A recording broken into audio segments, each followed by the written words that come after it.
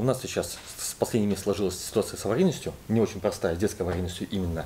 А, с чем это связано, то, что именно пошел такой всплеск последний месяц, наверное?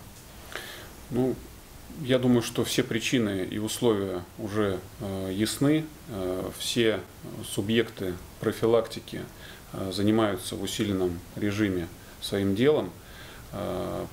Общими усилиями, надеюсь, нам удастся сбить вот эту э, аварийность, всплеск аварийности с участием детей. При этом, э, конечно, мы весь год фиксировали снижение количества ДТП с участием детей, снижение тяжести последствий с ними больше, чем на треть. Понятно, с чем это связано было. Это пандемийные мероприятия, дети находились дома. Но сейчас, в летний период, они поехали отдыхать. И отдыхают они, как правило, в сельской местности, в населенных пунктах, которые, э, в которых живут их э, старшие э, родственники, у бабушек, у дедушек. Не всегда и не все дети находятся под присмотром в то время, когда они должны находиться. Это и последний ДТП с участием мотоциклистов и водителей, и пассажиров вот этого мотоцикла, где трое несовершеннолетних погибли. Это и связано с тем, что не все водители, которые перевозят несовершеннолетних пассажиров чувствуют до конца свою ответственность за их перевозку и не всегда перевозят их в соответствии с правилами. А, от общего количества ДТП и тяжесть последствий, конечно, с детьми меньше, чем от общего количества, но любой погибший ребенок – это огромная трагедия. Поэтому мы очень серьезно, очень внимательно относимся к каждому происшествию, в котором пострадал, не дай бог, погиб несовершеннолетний. А, хотелось бы остановиться на Э, том, что в городе Твери у нас в процентном отношении ДТП с участием детей фиксируется сейчас меньше. Как я уже сказал, причина в том, что большинство несовершеннолетних проводят лето вне населенного пункта, вне Твери. Э, они находятся вне организованных учебных лагерей, не работают кружки, спортивные секции. Поэтому дети, если они остаются в городе, предоставлены сами себе, если выезжают э, за пределы города, то, соответственно, э, не всегда могут находиться под присмотром взрослых. Всем понятна опасность э, покупки, эксплуатации механических транспортных средств, таких как мопеды, скутеры, не дай бог мотоциклы. Или так называемый спортинвентарь, который по сути является тем же легким, а бывает и тяжелым мотоциклом. Дети могут садиться управлять такими транспортными средствами только с 16 лет а мотоциклом вообще с 18. Конечно, не имея навыков для вождения, не понимая и неправильно оценивая дорожную обстановку, несовершеннолетний э, не в состоянии вовремя заметить опасность и предотвратить ее на дороге. Не всегда э, в гибели детей э, виноваты сами дети. Это показывает и наезд на двух несовершеннолетних пешеходов водителями транспортных средств. Одно из происшествий произошло на пешеходном переходе, когда и обеспеченная видимость была, и светлое время суток. Но, однако, ребенок э, в силу своих психофизических особенностей не смог вовремя оценить э, опасность для себя и э, значит, покинуть опасный пешеходный переход, а водитель не смог предотвратить происшествие, вовремя не обнаружил опасность, в результате чего несовершеннолетний погиб. Хотелось бы обратиться не только к родителям, не столько к бабушкам и дедушкам, а сколько к остальным участникам дорожного движения, которые каждый день участвуют в дорожном движении и как пешеходы, и видят несовершеннолетних рядом с собой на пешеходных переходах, двигающихся по тротуарам на велосипедах, на скейтбордах, на чем угодно, на каких-то механических транспортных средствах, которые могут предотвратить нарушение правил дорожного движения и попадание ребенка в какую-то опасную ситуацию. Э, водители, которые, двигаясь по населенным пунктам, по сельским населенным пунктам, по грунтовым дорогам, они должны предполагать, что сейчас время отпусков, время детских каникул. Дети находятся э, на отдыхе. И всегда из-за поворота может э, выехать несовершеннолетний э, водитель велосипеда. Или выбежит ребенок, э, играя вблизи проезжей части. Понятно, что они нарушают правила дорожного движения. Но спасти жизнь и здоровье наших э, детей мы сможем только общими усилиями. Вот э, вчера у нас было дорожное происшествие с мотоциклом, где сбили пешехода непосредственно. Есть видео с регистратора, а, где видно, как пешеход идет по проезжей части вне пешеходного перехода, хотя пешеходный переход был рядом находился. Даже не, смотрит по сторонам, то есть уже э, у него были признаки опьянения алкогольного. Вот. А, вот понятно то, что вот пешеход, если у него есть дети, он сам своих детей правилам дорожного движения уже не научит, если он сам их нарушает систематически, когда к тому же вот так вот. Как в такой ситуации быть?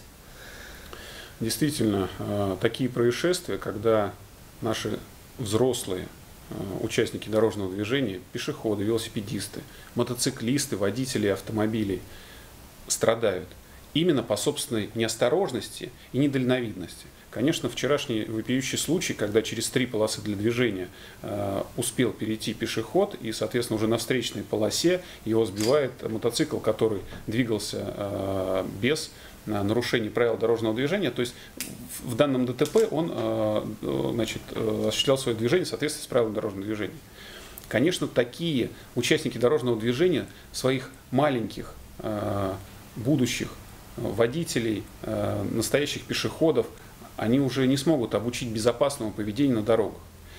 Я поэтому и сказал, что нужно, чтобы все общими усилиями взяли на себя такую работу. Конечно, вместе с педагогами, социальными работниками. Мы сейчас в период проведения месячника э, включим э, тот же э, родительский патруль вблизи школ. Но понятно, что до школы еще практически 2-3 недели. Поэтому мы и подготовимся к этому, и проведем. А сейчас нужно общими усилиями, воздействием на своих друзей и соседей все-таки снизить количество происшествий с участием ребятишек и обезопасить их летний отдых. Ну вот мы говорим то, что первая линия обороны в плане безопасности детей на дороге – это родители, именно родители. Но есть родители, которые э, просто не учились в автошколе, им, правда, никогда не нужны были. А, и, само собой, они сами правила ну, просто никогда в них не вникали. А стоит ли им, чтобы обучать ребенка, самим правила выучить как-то, пускай самостоятельно даже? Ну, участие в дорожном движении, каждый гражданин у нас участвует в дорожном движении. Вышел из подъезда э, или со двора собственного дома, ты уже участник дорожного движения в качестве пешехода. Сел на велосипед, ты велосипедист, сел на маршрутное транспортное средство, ты пассажир. Не зная э, элементарных правил дорожного движения, что переходить проезжую часть можно только по пешеходному переходу. На регулируемом э, перекрестке только на зеленый сигнал светофора, который разрешает движение именно пешеходам. Э, то, что пересекать проезжую часть, даже где нет пешеходного перехода, в видимости можно, но под прямым углом и обезопасив себя, то есть понимая, что э, этот переход проезжей части будет безопасен. Конечно, такие азы, они вроде известны всем со школы, э, что автобус нужно обходить не справа, не слева от него, а именно тогда, когда он покинет уже остановочный пункт, и когда будет действительно дорога пустая, свободная, и можно будет безопасно ее перейти. То есть такие азы, они закладываются со школы.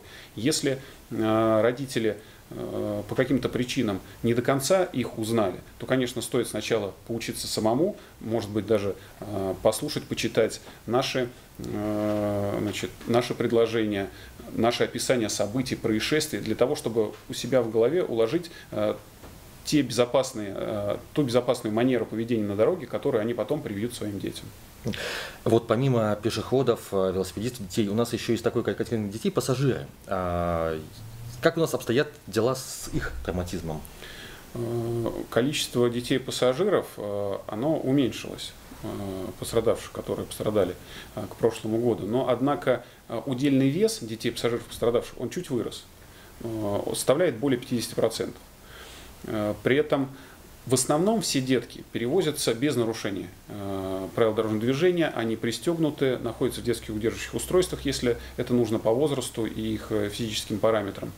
Но есть и шесть ребятишек, которые пострадали э, в автомобилях, в транспортных средствах, когда они находились либо вне детских удерживающих устройств, либо были неправильно они использованы это самое обидное, когда а, безопасность ребенка должна обеспечиваться их опекуном, родителем, а, тем старшим, кто везет его в транспортном, перевозит его в транспортном средстве, и из-за вот э, беспечности, из-за преступной халатности страдают дети, которые просто могли быть пристегнуты ремнем безопасности и находиться в детском удерживающем устройстве.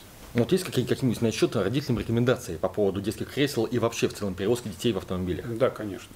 Ну, во-первых, э, самое безопасное место в автомобиле – это место, которое находится за водителем, потому что водитель интуитивно э, отводит удар от своей стороны.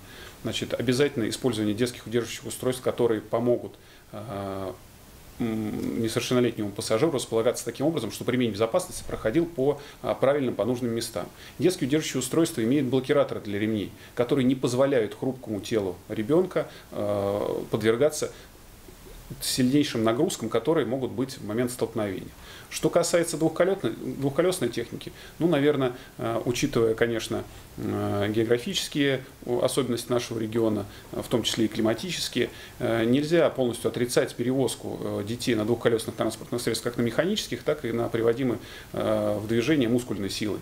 Но, однако, всю эту перевозку нужно производить в строгом соответствии с правилами дорожного движения, не превышая установленных ограничений скорости. И уж по грунтовой дороге на двухколесном транспортном средстве точно не стоит ехать со скоростью более 25-30 км в час. Это небезопасно.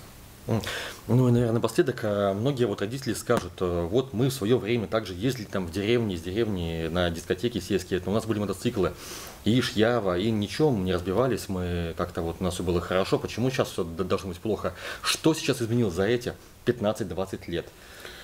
Э, техника, развитие техники, оно не стоит на месте. И то, что раньше э, было у нас в детстве, мопеды, которые при э, даже самом там э, хорошем случае они не могли раз, развить скорость больше 30-35 км в час. Мотоциклы, которые, да, были, но э, тоже ездили не так быстро. Участников дорожного движения было меньше, в разы меньше. Не было так, что в каждой семье было по автомобилю. В основном э, ходили рейсовые автобусы, грузовые автомобили, и то это в дневное время суток. На ночь жизнь в сельских населенных пунктах, как правило, замирала. Поэтому, естественно, и происшествий было меньше. Сейчас совершенно иные условия дорожного движения, совершенно э, иная интенсивность его. Поэтому э, отсылать к нашим э, детским годам, к нашему юношеству в данном случае это не, не только неправильно, это совершенно э, неправомерно. Напоследок, как вам пожелание какому-нибудь участникам дорожного движения? Всем участникам дорожного движения э, удачи на дорогах, внимательности, объективности оценки ситуации. И попрошу быть вежливыми и все-таки помогать нашим несовершеннолетним участникам дорожного движения не нарушать правила дорожного движения, а предотвращать их.